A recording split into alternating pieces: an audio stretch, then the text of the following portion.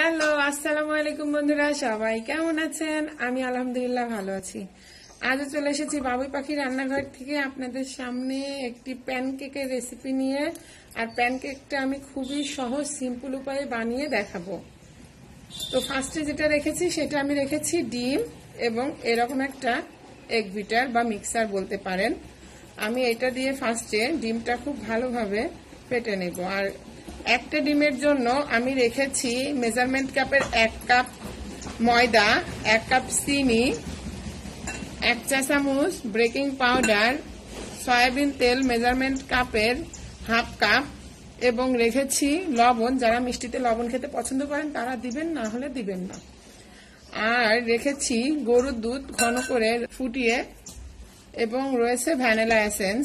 আমি ফার্স্টে যেটা করব, ডিমটা খুব ভালোভাবে ফেটে নেব। তো আমি ফার্স্টে ডিমটা ভালো করে মিক্সার দিয়ে ফোম তৈরি করে নেওয়ার চেষ্টা করছি। দুই মিনিট আমি এইভাবে বিট করে এর মধ্যে দিয়ে দিচ্ছি চিনি। চিনিগুলা আমি দিয়ে খুব ভালোভাবে এটা বিট করব। আর আপনারা ব্লেন্ডারও এটা করতে পারেন। আমি জাস্ট সহজ পদ্ধতিতে এটা দেখানোর চেষ্টা করছি। যাতে আপনারা বিকেলে নাস্তা বা বাচ্চাদের টিফিন এই লকডাউনে কিন্তু আমরা বাচ্চাদের টিফিন দেওয়াটাই ভুলে গেছি।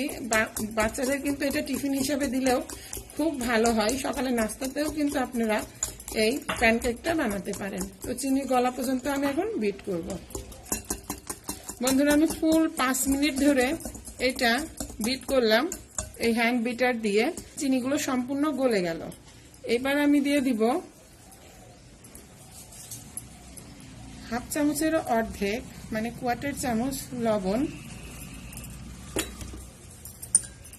বেকিং পাউডার এক চা চামচ আছে এখানে, সয়াবিন তেল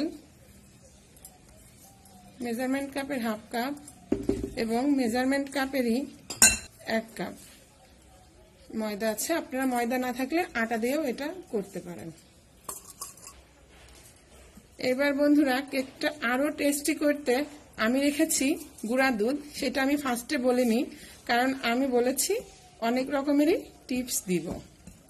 তো এখন আমি দিয়ে দিচ্ছি মেজারমেন্ট কাপের হাফ কাপ গুঁড়া দুধ। গুঁড়া দুধটা কেউ না চাইলে না দিতে পারেন, তবে এটা কিন্তু টেস্টের মাত্রা দ্বিগুণ করে দিবে। এখন আমি দিয়ে দিব ভ্যানিলা এসেন্স যাদের ঘরে ভ্যানিলা এসেন্সটা থাকবে না, তারা এলাচটা গুঁড়া করেও দিতে পারেন, বা এই সময় হাফ চামচ লেবুর রসও দিতে পারেন। আমি হাফ চা চামচ ভ্যানিলা এসেন্স দিয়ে দিলাম। বন্ধুরা, এবার ভ্যানিলা এসেন্স দিয়ে আমি খুব ভালোভাবে এটা যেহেতু এখন ময়দা দিয়েছে, এটা একটু টাইট আছে, আমি ঘন করে রাখা গরুর দুধ দিয়ে দিচ্ছি। অল্প করে করে গরুর দুধটা দিবেন যাতে খুব বেশি পাতলা না হয়ে যায় বেটারটা। এখন আমি এটা খুব ভালোভাবে মিক্স করব। বন্ধুরা, এখনও কিন্তু এই বেটারটা অনেক ঘন, আর আমি বারবারই বলছি, এই ঘন করে রাখা গরুর দুধটা কিন্তু আপনারা একবারে দিবেন না। আর আপনারা কিন্তু এর ঘনত্বটা দেখে, বুঝে তারপরে দিবেন। এটা কিন্তু একটু ঘনত্বটা বেশি আছে, এটা নাড়তে নাড়তে। বন্ধুরা, আপনারা দেখেন, এটা কিন্তু এখনও একটু ভারী আছে। আমি আর একটু জাল করে রাখা ঘন করা গরুর দুধটা দিয়ে দিচ্ছি। দিয়ে এইবার একভাবে এটা দশ মিনিট বিট করছি, ফিরছি। একবারে দশ মিনিট পর, বন্ধুরা। বন্ধুরা, ফিরে এসেছি দশ মিনিট পর। আর এখন কিন্তু আপনারা দেখতে পাচ্ছেন হ্যান্ড বিটারের সাথে কিন্তু খুবই পাতলা হয়ে লাগতেছে। আপনারা এটা দেখেন, এটা কিন্তু খুবই পাতলা হয়ে লাগতেছে। তো ঠিক এইরকম একটা বেটার তৈরি করার জন্য পারফেক্ট ভাবে সবকিছু আমি আপনাদের দেখিয়ে দিয়েছি। আর এই রকম বেটারেই কিন্তু পারফেক্ট ভাবে প্যান কেকটা তৈরি হবে। তো চলুন বন্ধুরা, আমি একটা প্যান বসিয়ে দিয়েছি। এবার খুব সহজে তৈরি করে ফেলি মজাদার নাস্তার জন্য প্যান কেক বন্ধুরা, আমি এখন এটা খুবটা উঠাই রাখছি। এটা উঠিয়ে রেখে একটা মেজারমেন্ট কাপ নিচ্ছি। আর সয়াবিন তেল রাখছি প্যানটা ঘষে দেওয়ার জন্য। টিস্যু দিয়ে জাস্ট প্যানটা এভাবে একটু ঘষে নেবেন। তো বন্ধুরা, আমি দিয়ে দিলাম। আর একটা ঢাকনার সাহায্যে এইভাবে ঢাকা দিলাম। এক থেকে দুই মিনিটের মধ্যে আমি ঢাকনাটা আর খুলবো না। বন্ধুরা, এক থেকে দুই মিনিটের মধ্যেই কিন্তু আপনারা বুঝতে পারবেন যে কেকটা ভেতর থেকে ফুলে গেছে।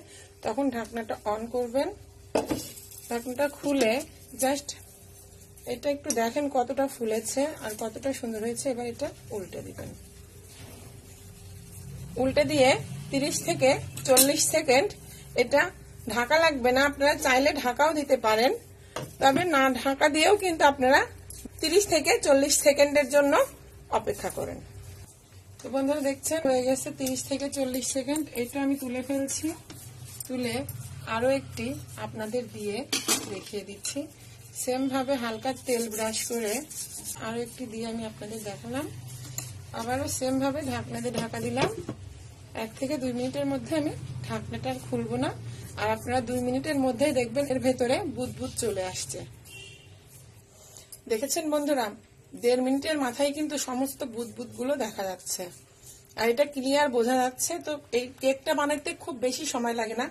আপনার যতটুকু সময় শুধু বিট করতে লাগে, আর এটা কিন্তু আপনারা অনায়াসে বিশ মিনিটের মধ্যে অনেকগুলো কেক বানিয়ে ফেলতে পারবেন। তো এটা আমি দুই মিনিটের মধ্যে ওপেন করে এটা জাস্ট আমি উল্টে দিচ্ছি।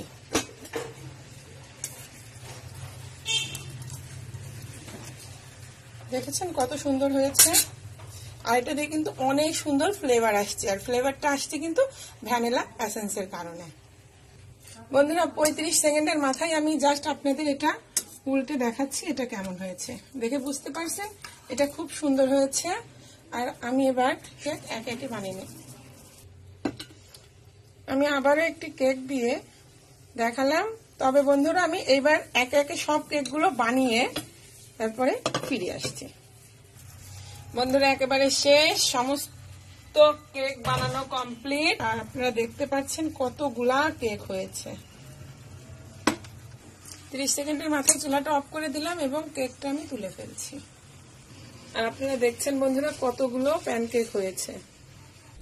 তো বন্ধুরা দেখেছেন কতগুলা কেক হয়েছে আর এগুলো দেখতে কত সুন্দর হয়েছে আর এটা যে কতটা সফট হয়েছে সেটা তো আপনাদের বলে বোঝানো লাগতেছে না, দেখেই বুঝতে পারছেন, এটা অটোমেটিক খুলে যাচ্ছে। কারণ একেবারে নরম তুলতুলার, একেবারে সফট হয়েছে। আমি একটি ছিঁড়ে দেখাচ্ছি, আপনারা দেখেন, এটা একেবারেই সফট হয়েছে। সবাই ভালো থাকবেন, সুস্থ থাকবেন, আমার জন্য দোয়া করবেন, আমার চ্যানেল বাবুই পাখি রান্নাঘরের সঙ্গে থাকবেন। এমন সহজ সহজ রেসিপি পেতে অবশ্যই আমার চ্যানেলটি সাবস্ক্রাইব করবেন বন্ধুদের মাঝে শেয়ার করবেন। আল্লাহ হাফিজ বন্ধুরা।